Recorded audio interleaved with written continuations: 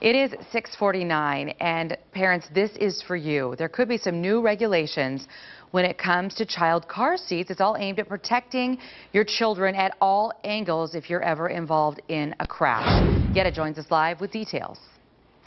And you know, if you're a parent, you know all about how much we have to change these seats out. And this uh, latest proposal is hoping that uh, the side impacts, the kids will be protected from side impact car crashes. Let's show you some video because uh, this proposal is coming in from the folks at the National Highway Traffic Safety Administration, and they want to make sure that the requirement for child car seats will protect kids from death and injury in those side impact crashes. This is because research has shown most kids who die or get badly hurt in car crashes are involved in accidents at intersections, usually at a light or at a stop sign. So that's why they want to upgrade these standards. The agency says the new standards could prevent the death of about five children and injuries to 64 others each year. So uh, that announcement is going to be made later today around 1 o'clock. Back to you guys. All right, Yetta, thank you very much. Appreciate that. I want to talk about car seats this morning. They could get side impact testing for the first time ever, and it could mean manufacturers will need to make upgrades and that parents would have to pay more for these seats.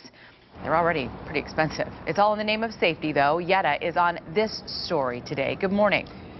Hey, good morning. Yeah, they are pretty expensive. Will this mean we have to get more car seats? You know how you have to get those upgrades every now and again? We don't know just yet, but let me show you some video because uh, the folks at the National Highway Traffic Safety Administration, they want to make it a requirement for child car seats to protect children from death and injury inside impact crashes. This is because research, I'm going to wait for that to go by. Research has shown most children who die or get badly hurt in car crashes are involved in accidents at intersections. Usually they say at lights or a stop sign. That's why the government wants to upgrade these standards for child safety seats. The National Highway Traffic Safety Administration is going to make the proposal today right around 1 o'clock showing a very graphic video that simulates a T-bone crash where the front of a vehicle traveling only 30 miles per hour strikes the side of a small passenger vehicle traveling at 15 miles per hour. Now this agency says the new standards could prevent uh, deaths of about five kids and injuries to 64 others each year. So it's going to be very impactful if it passes. Back to you.